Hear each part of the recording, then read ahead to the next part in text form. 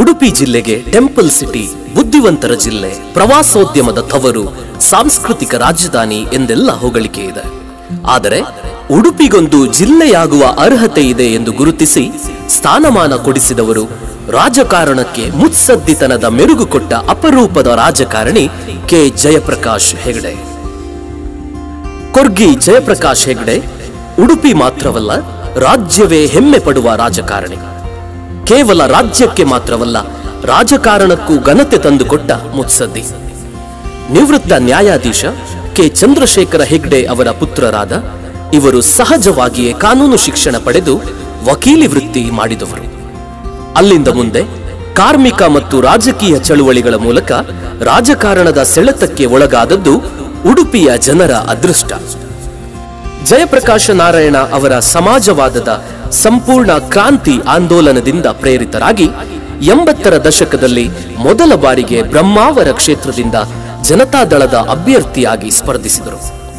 ಅಲ್ಲಿಂದ ಮುಂದೆ ಹೆಗ್ಡೆ ತಿರುಗಿ ನೋಡಲಿಲ್ಲ. ಜನತಾದಳದಿಂದ ಒಂದು ಬಾರಿ, ಪಕ್ಷೇತರನಾಗಿ ಎರಡು ಬಾರಿ ಬ್ರಹ್ಮಾವರದಿಂದ ಶಾಸಕರಾದರು. ಕ್ಷೇತ್ರದ ಹಿರಿಮೆಯನ್ನು ಸದನದಲ್ಲಿ ಸ್ಥಾಪಿಸಿ ಸಂಸದೀಯ ಪಟುವಾಗಿಯೂ ಹೆಸರುವಾಸಿಯಾದರು. ರಾಜ್ಯ ಸಚಿವರಾಗಿ ಬಂದರು ಮತ್ತು ಮೀನುಗಾರಿಕೆ ಇಲಾಖೆಯಲ್ಲಿ ತಮ್ಮದೇ ಛಾಪು ಮೂಡಿಸಿದರು. ಅವರ ಕೆಲಸದಲ್ಲಿನ ನಿಯತ್ತನ್ನು ನೆನಪಿಸಿಕೊಳ್ಳದವರು ಕಡಿಮೆ.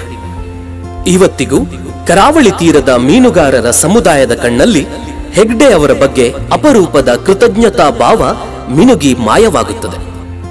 ಕ್ಷೇತ್ರ ಪುನರ್ವಿಂಗಡಣೆ ಆಗದೆ ಇವತ್ತಿಗೂ ಬ್ರಹ್ಮಾವರ ಎಂಬ ಕ್ಷೇತ್ರ ಅಸ್ತಿತ್ವದಲ್ಲಿದ್ದರೆ ರಾಜಕಾರಣದಲ್ಲಿ ಇವರು ಹೊಂದಿರಬಹುದಾಗಿದ್ದ ಸ್ಥಾನಮಾನ ಊಹಿಸಲು ಸಾಧ್ಯವಿಲ್ಲ.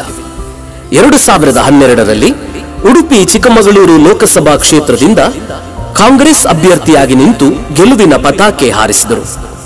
ಸಂಸತ್ತಿನ ಅಂಗಳದಲ್ಲೂ ಕರಾವಳಿಯ ಬುದ್ಧಿವಂತ ರಾಜಕಾರಣಿ ಎಂಬ ಛಾಪು ಮೂಡಿಸಿದರು.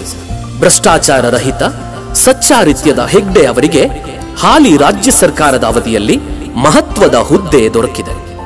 ಇವರ ಅರ್ಹತೆ, ಯೋಗ್ಯತೆಯನ್ನು ಅಳಿದು ತೂಗಿ, ಇವರ ವಕೀಲಿ ವೃತ್ತಿಯ ಅನುಭವದ ಪ್ರಯೋಜನ ಪಡೆಯಲು ಹಿಂದುಳಿದ ವರ್ಗಗಳ ಆಯೋಗದ ಅಧ್ಯಕ್ಷರನ್ನಾಗಿ ನೇಮಿಸಲಾಗಿದೆ. ಇದು ನೊಂದ ಜನರ ಭಾಗ್ಯ. ಚುನಾವಣೆಯಲ್ಲಿ ಇಲ್ಲದಿದ್ದರೂ, ಚಲಾವಣೆಯಲ್ಲಿ ಇರುವ ಮತ್ತು ಮೌಲ್ಯಗಳನ್ನು ಉಳಿಸಿಕೊಂಡು ರಾಜಕಾರಣ ಮಾಡಿದ ರಾಜಕಾರಣಿ ಅನ್ನೋದು ಇವರ ಹೆಗ್ಗಳಿಕೆ. ಕಾನೂನಿನ ಅನುಭವ, ಸಂಸದೀಯ ಪಟುತ್ವ, ಸಚ್ಚಾರಿತ್ಯ. ಈ ಮೂರರ ಅಪರೂಪದ ಕಾಂಬಿನೇಷನ್ ನಂತಿರುವ ಹೆಗಡೆ ನಮ್ಮ ಹೆಮ್ಮೆ.